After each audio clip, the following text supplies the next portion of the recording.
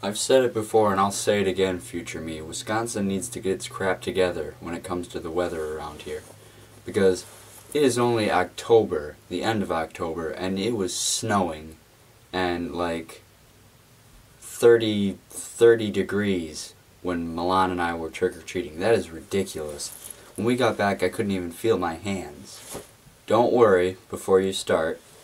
It's just temporary. It's hairspray. I didn't dye it again. I learned my mistake last year when I started to look like I was going bald.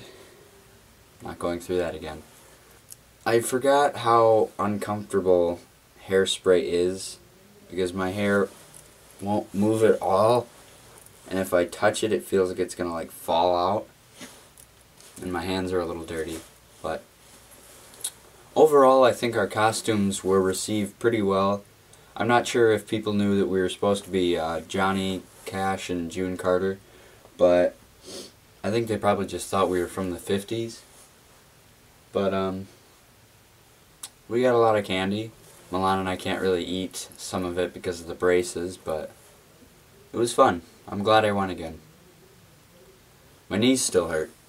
I'm still pretty tired, but it was a good night.